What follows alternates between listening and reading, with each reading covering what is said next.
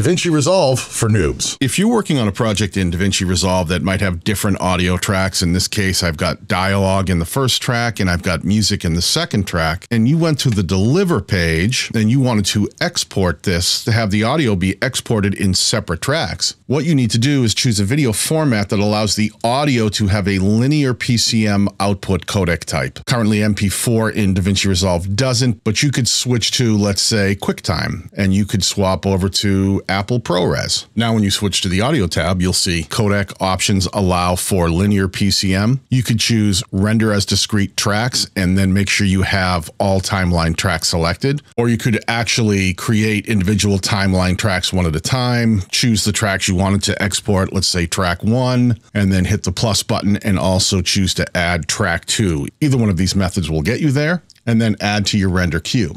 Once you're done exporting, back on the edit page, if you create a new timeline that allows for two audio tracks, you can import your file. And if you drag that into your timeline, you'll see that all the video tracks have been combined into one video track, but it'll keep all the audio separated into separate audio tracks.